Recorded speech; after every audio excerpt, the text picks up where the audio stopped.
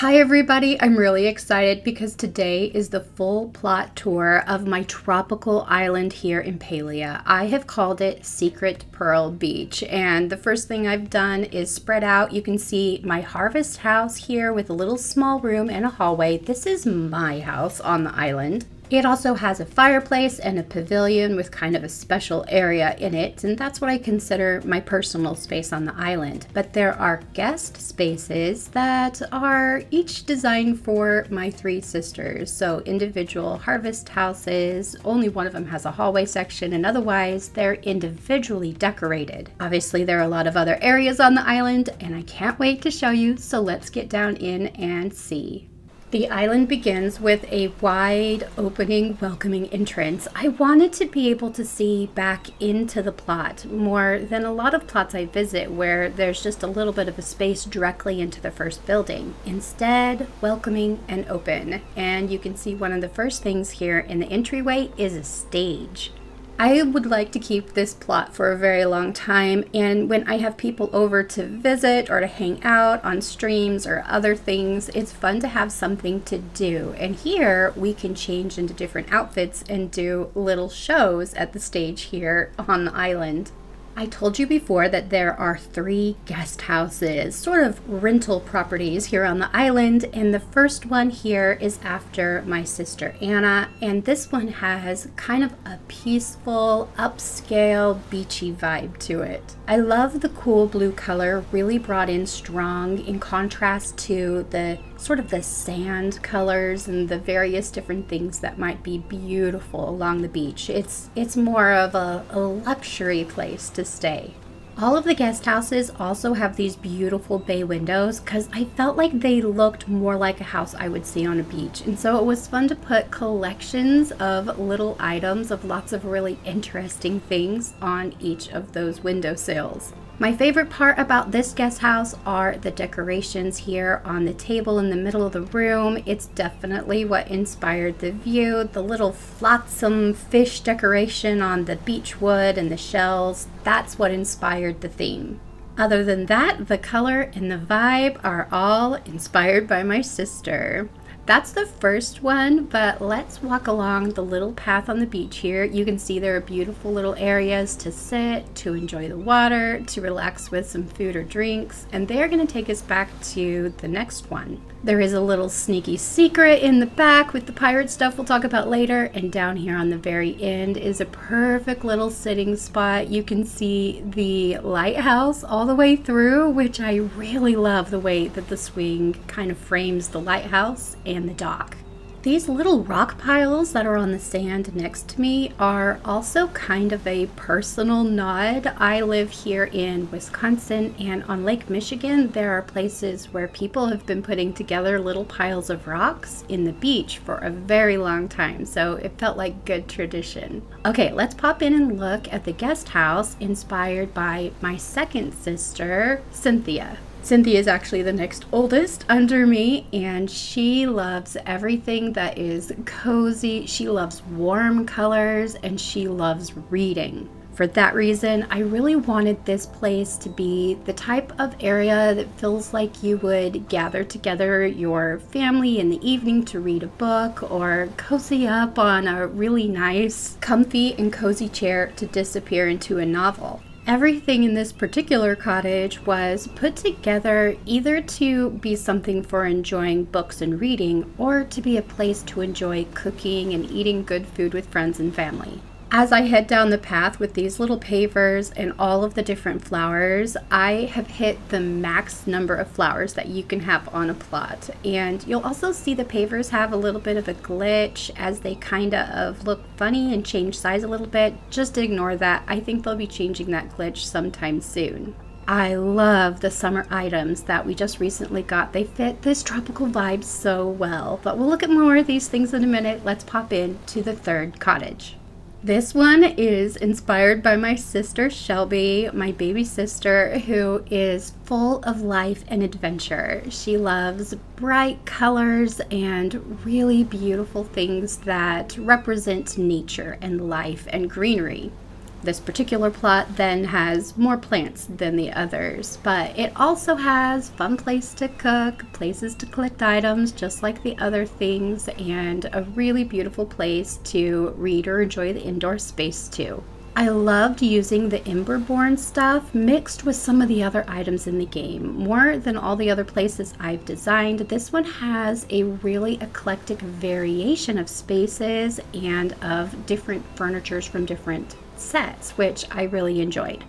The other areas on the island are meant to be beautiful community areas to gather and enjoy the beautiful environment. This is the fire pit. I just imagine everyone gathering around here late as the sun sets to roast marshmallows, tell stories, maybe sing songs. And then there are these places to sit and actually enjoy the beach. So this is a little bit of a specialty spot I put together. And then we have the new spring items. I can't wait to get the umbrella. I haven't been lucky enough to find it yet, but I'll definitely be adding it in several places to the beach areas. The path leads to this part because this is the dock that goes if you're going to go straight to Bahari Bay, if you're not familiar with this particular plot. But let's go closer into the middle. Several areas on this island are reminiscent of memories I have as a child when we would visit my grandparents' cabin in Colorado. While it's a very different atmosphere, the way that you would visit to enjoy the outdoors is the same. So, this is a little family picnic spot. The giant fish back here is kind of an honor place. I figure sort of the mascot of the island. We've got both a small one and a large one that I've been able to get from playing Hot Pot. In fact, I have a couple of him and I just figured we needed to use him somehow.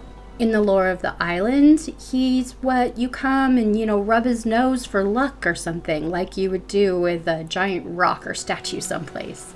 You can see the areas along the beach over here have a few of these planks that I've stacked up to look like driftwood that has just kind of pushed up onto the shore. And as we go back into the path area, we'll pass there's a little latrine and then we get into some areas that are more functional. I put the industrial dresser out here to look like a tool shed. I have the aquarium here because it's a beautiful place for it. And then this is where I do real work. I have my actual benches for creating and customizing and smelting objects. Under the Kilima Pavilion is meant to be a beautiful, little bit of a private area to enjoy the hot tub. I wanted this area to be a little more closed in so it could feel private, but at the same time enjoy the view of the outdoor area. So there's a lot of plants in here too, and I've tucked it in so it's sort of closer to my personal spot. Speaking of, I should probably show you what is inside my personal home. I want to share that my personal cottage on the island is not inspired by me. It is inspired by my memories. Because we visited my grandparents' cabin a lot when we were growing up, it had been in the family for a long time, and things had come into that space as they had redesigned it home or built something new, or all the kind of clutter and collections that filled the space were from hikes and trips every time we went down to the beach or decided to polish a rock or make a fairy house. To help with that vibe, I used as many items as I could find from the makeshift set. That's the one that you fish up. And I really like the way that the items look like they've been handyman put together. I also wanted to make sure that the spaces were really full, right? That every single little corner and nook was a memory from something. And so again, this is this is more of a heritage house for me. The lore of my character is that she probably lives on a different lot most of the time, but during the summer, or if she just needs to take a break or head out to someplace new, she comes to the family cottage. A proper rustic getaway to enjoy the sand and the beach and the water and a little bit of a slower life. Because I was doing my house as a memory of sorts, that is part of why I added some family heritage into the other cottages. Now, back here is less memory and just more playful.